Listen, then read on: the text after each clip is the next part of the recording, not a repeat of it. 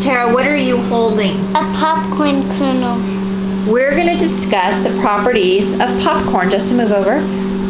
Tell me about can, what can we do with this popcorn here? Can we see it? Yeah. That's using our senses, huh? Yep. Justin, what else? Come over. What else can we do with popcorn? Can you feel it? Yep. Oh. Uh oh. We can hear it drop. Accident. It's an accident. Okay, go stand over by the microwave. I can hear it Ooh, popping. wait, I hear it popping. I heard a pop. Do you guys hear a pop? Yep. That's that's a property we can hear popcorn, And huh? we can see it blow up. Mhm. Can you smell popcorn? Uh, yeah. Yep.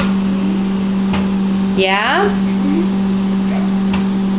Did we hear it popping? Yep.